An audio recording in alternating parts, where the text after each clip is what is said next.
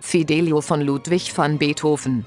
Die Handlung wird präsentiert von Opera Inside, dem Online-Opernführer. Die Personen Don Pizarro, Gouverneur des Staatsgefängnisses. Florestan, politischer Gefangener und Gegner von Don Pizarro. Leonore, seine Frau. Rocco, Kerkermeister. Marcelline, Roccos Tochter. Im Staatsgefängnis von Sevilla. Der Kerkermeister Rocco lebt mit seiner Tochter Marcelline in der Dienstwohnung. Joaquino ist verliebt in Marcelline. Doch sie denkt unaufhörlich an Fidelio, den neuen Gehilfen ihres Vaters. Fidelio ist in Tat und Wahrheit Leonore, die Ehefrau von Florestan, welcher seit zwei Jahren als politischer Gefangener in diesem Gefängnis sitzt. Sie hat sich in Männerkleidung als Kerkergehilfe anstellen lassen, um ihren Mann zu befreien.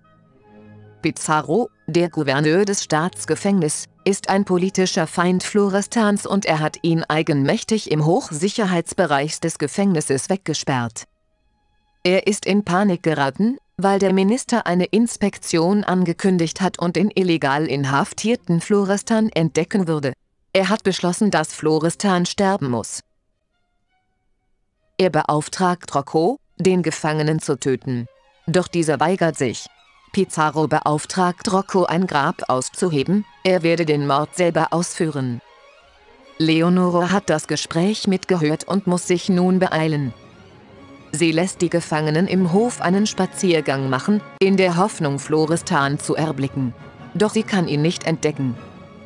Florestan sitzt unter miserablen Bedingungen im Kerker.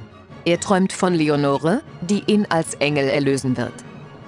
Rocco nimmt Fidelio auf die Seite und erklärt ihr den Auftrag Pizarros. Sie treten zur Zelle Florestans.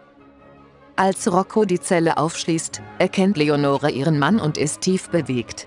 Florestan erkennt sie nicht und ist dankbar für das Stück Brot, das Leonore ihm reicht. Leonore und Rocco schaufeln das Grab. Als es fertig ist, ruft Rocco Pizarro. Dieser erscheint mit einer Waffe in der Hand, um Florestan zu töten.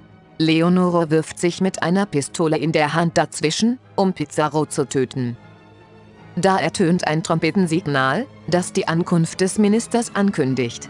Pizarro hat verloren und flieht. Florestan erkennt Leonore und sie fallen sich in die Arme.